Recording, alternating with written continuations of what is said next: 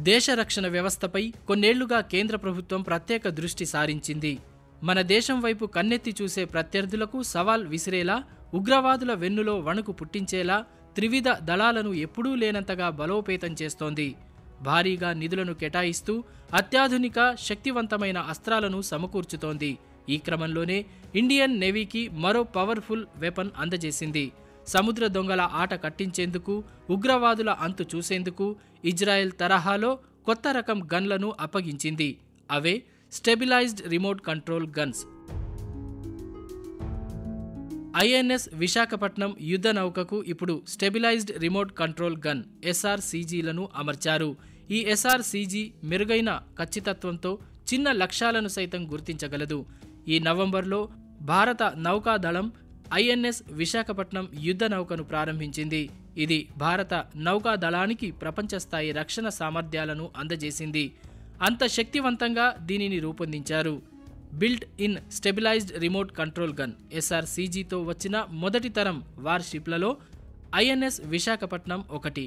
సముద్రపు దొంగలు ఉగ్రవాదులను లక్ష్యంగా చేసుకోవడానికి ఎస్ఆర్సీజీ సిస్టమ్ను ఇండియన్ నేవీ అభివృద్ధి చేసింది. ఎల్బిట్ అనే ఇజ్రాయిల్ కంపెనీతో ట్రాన్స్ఫర్ ఆఫ్ టెక్నాలజీ ఒప్పందం ప్రకారం ఈ అత్యాధునిక గన్లను రూపొందించారు. ఈ జూన్లో తిరుచిరాపల్లిలోని ordnance factory Indian navy Indian coast గార్డ్స్కు SRCG సిస్టమ్ను అప్పగించింది. మొదటి బ్యాచ్లో మొత్తం ఇరవై ఐదు సిస్టమ్స్ను అందజేసింది.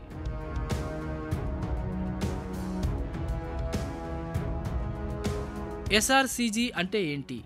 SRCG remote weapon system. RWS కేటగిరీకి చెందిన వెపన్ అని నిపుణులు చెబుతున్నారు. సముద్ర భద్రత విషయంలో రిమోట్ వెపన్ సిస్టమ్ అనేది రిమోట్ కంట్రోల్ ద్వారా కాల్చే తుపాకీ కంటే మెరుగైనది శక్తివంతమైనది కూడా. ఎస్ఆర్సీజీ కంప్యూటరైజ్డ్ టార్గెటింగ్ సిస్టమ్ ఓడ రోల్ పిచ్లను సమన్వయం చేసుకోగలదు. అంటే ఓడ కదలికలు గుర్తిస్తూ వేగాన్ని అంచనా వేయగలదు. అంతేకాదు అత్యంత ఖచ్చితత్వంతో లోపాలను తగ్గించడానికి దాని ఎలివేషన్ ట్రావర్స్ సెట్టింగ్స్ను మార్చుకోగలదు. మాన్యువల్గా ఆపరేట్ చేసే ఆయుధాలను కదిలే ఓడలో నిమిషాల వ్యవధిలో సర్దుబాటు చేసి వినియోగించడం కుదరదు. కానీ ఇది అలా కాదు. Fully automated gun. ఏదైనా శత్రు నౌక కనిపిస్తే నిమిషాల్లోనే వాటిని టార్గెట్ చేసి ఫినిష్ చేయగలదు. ఈ రిమోట్ వెపన్ సిస్టమ్స్ను ఫాస్ట్ ఫైరింగ్ రేట్ల కోసం కాకుండా అధిక ఖచ్చితత్వాన్ని కలిగి ఉండేలా రూపొందించారు.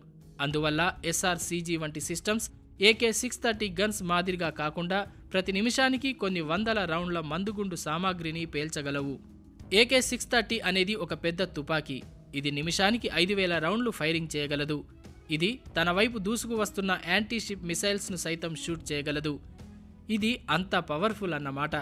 ఎస్ఆర్సీజీ సిస్టంలో twelve point seven mm gun optronic camera laser range finder ఉంటాయి. దీని సెన్సార్ల ద్వారా ఏదైనా వాతావరణంలో లేదా రాత్రి సమయంలో లక్ష్యాలను సులభంగా గుర్తించి ట్రాక్ చేయవచ్చు. సముద్రపు దొంగలు ఉగ్రవాదులు ఎక్కువగా ఉపయోగించే చిన్న వేగంగా కదిలే పడవలపై కాల్పులు జరపడానికి ఎస్ఆర్సీజీలను రూపొందించినట్లు నిపుణులు చెబుతున్నారు.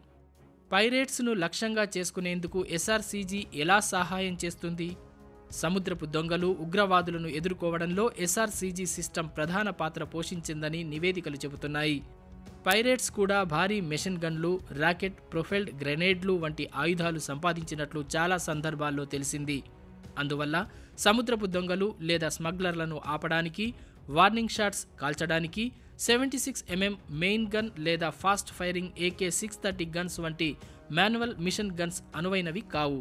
కానీ కంప్యూటరైజ్డ్ టార్గెట్స్ ఉండే ఎస్ఆర్సీజీలు వార్నింగ్ షాట్స్ ఫైర్ చేయడానికి హై వాల్యూ టార్గెట్స్ను ఛేదించడానికి అనుకూలమైనవి. ఎస్ఆర్సీజీలోని ఆప్ట్రానిక్ సెన్సార్లు అనేక కిలోమీటర్ల దూరంలో ఉన్న చిన్న లక్ష్యాలను కూడా గుర్తించగలవు. సముద్ర జలాల్లో సముద్ర దొంగలతో పాటు ఉగ్రవాద గ్రూపుల నుంచి ముప్పు పొంచి ఉన్న నేపథ్యంలో భారత నౌకాదళం కూడా ఆందోళన చెందుతోంది. ఈ క్రమంలోనే అత్యాధునిక ఆయుధాలను వినియోగిస్తోంది.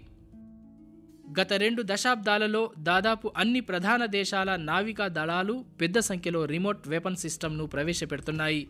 రెండు వేల మూడులో యుఎస్ నేవీ టైఫూన్ ఆర్డబ్ల్యూఎస్ వేరియంట్ను ఏర్పాటు చేసింది. యుద్ధ నౌకలపై మోహరించేందుకు ఇజ్రాయెల్కు చెందిన రాఫెల్ సంస్థ దీన్ని రూపొందించింది. Typhoon system seven point six two MM నుంచి twelve point seven MM twenty MM twenty five MM thirty MM వంటి క్యాలిబర్స్ రేంజ్ కలిగిన వివిధ గన్స్ను ఉపయోగించగలదు.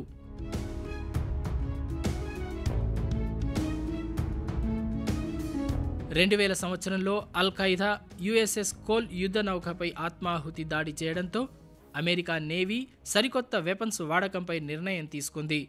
రెండు వేల సంవత్సరం అక్టోబర్లో యుఎస్ఎస్ కోల్ అనే అధునాతన మిసైల్ డిస్ట్రాయర్ ఇంధనం నింపుకోవడానికి యెమెన్లోని అడెన్ తీరానికి వెళ్ళింది.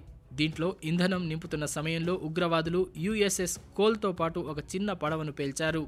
ఈ పేలుడు కారణంగా కోల్ నౌకలోని వాటర్ లైన్ సమీపంలో నలభై అడుగుల వెడల్పుతో రంధ్రం ఏర్పడి పదిహేడు మంది అమెరికన్ నావికులు చనిపోయారు. ధ్వంసమైన యుద్ధ నౌకలో టోమాహాక్ క్రూయిజ్ క్షిపణులు ఉన్నప్పటికీ పేలుడు పదార్థాలతో నిండిన పడవపై దాడి చేసే సామర్థ్యం దానికి లేదు. పెద్ద యుద్ధ నౌకలకు చిన్న పడవలతో ఎదురయ్యే ముప్పును కూడా ఈ సంఘటన హైలైట్ చేసింది. అందుకే అలాంటి ముప్పు రాకుండా మన నౌకాదళంలో శక్తివంతమైన ఆయుధాలను వాడుతోంది. you